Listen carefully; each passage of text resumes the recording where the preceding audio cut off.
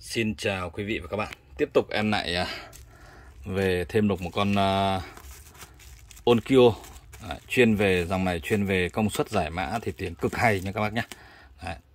Trước thì những cái con này thì gần như là nó, nó rất là hiếm Đấy. Dạo này nhà em nhập các hàng đấu mạng về cho nên là nó bắt đầu có, có dần dần rồi chứ trước là những cái con này thì hiếm lắm Đây. Sẽ ra cho các bác nhé. Đó.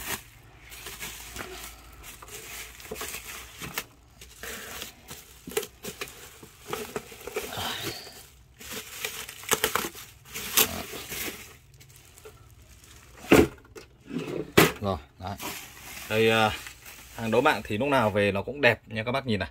Đấy, các bác nhìn nhé nó rất là đẹp các bác mua hàng ở đâu các bác cứ bảo người ta chiếu nhảy cho các bác luôn nhé để các bác thấy cái được à, cái độ đẹp của nó nha đấy. các bác nhìn thấy chưa?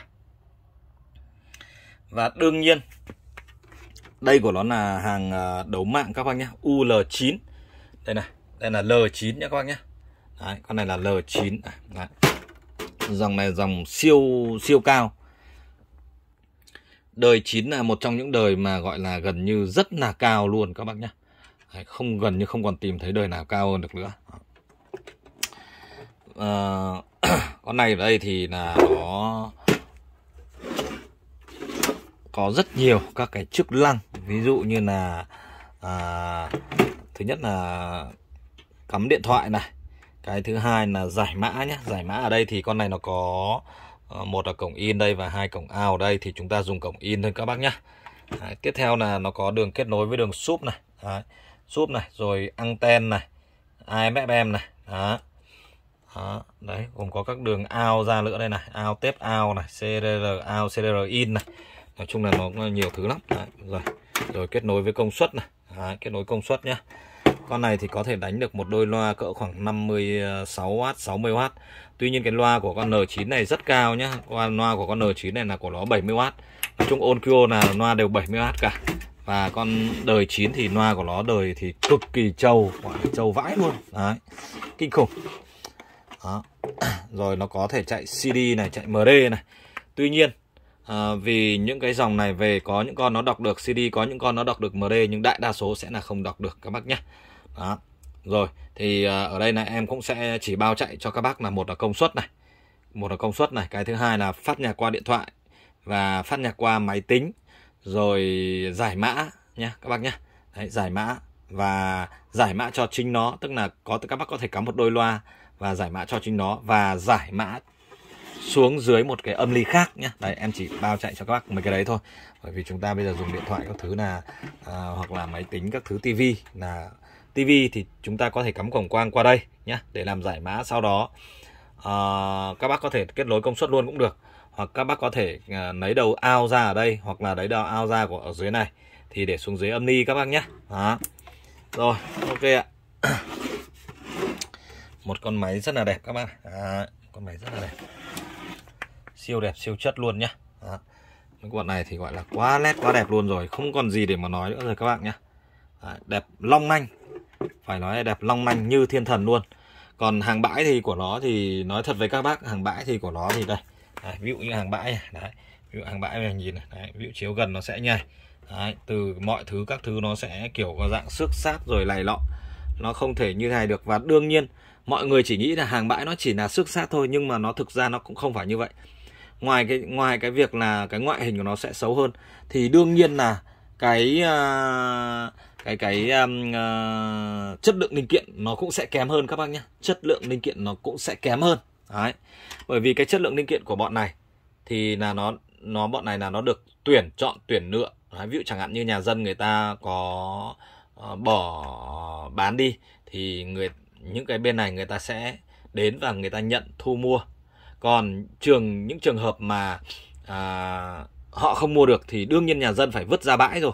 Và vứt ra bãi ở bên Nhật còn phải bị mất tiền các bác nhé chứ không phải không đâu vứt ra bãi những cái hàng mà những cái hàng như thế này vứt ra bãi là còn bị mất tiền nhé còn những cái này ấy, là họ được nhập vào siêu thị và đương nhiên là họ phải các siêu thị họ phải mua và họ tuyển lựa tuyển chọn từ trong ra ngoài là hàng đẹp hàng siêu chất siêu đẹp luôn.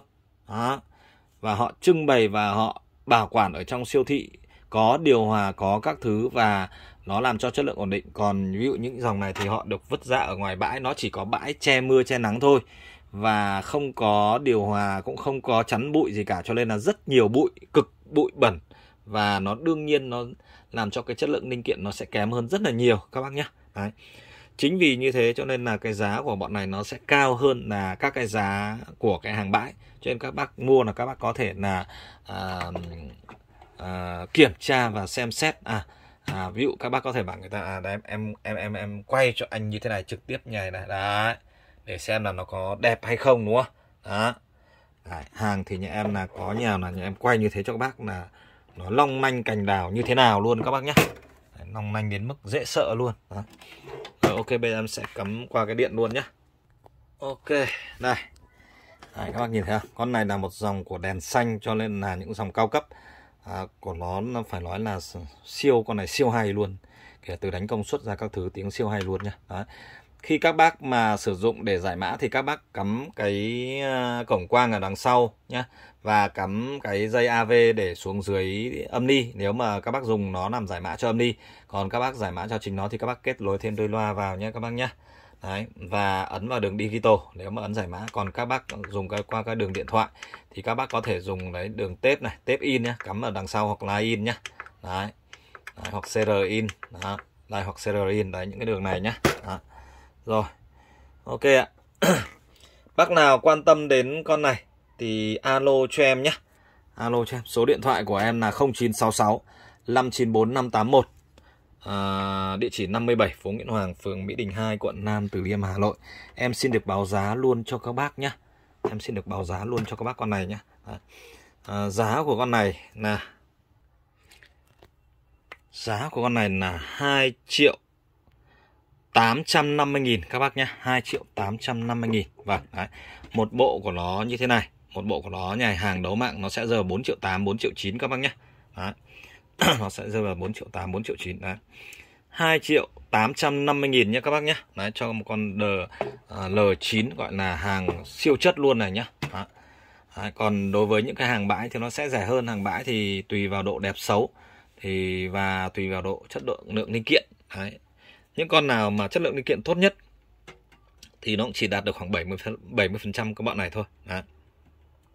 thì nó cũng rơi vào tầm khoảng tầm à, hơn 2 triệu còn à, những cái con nào mà nó chất lượng linh kiện thấp hơn thì khoảng tầm triệu rưỡi triệu bảy.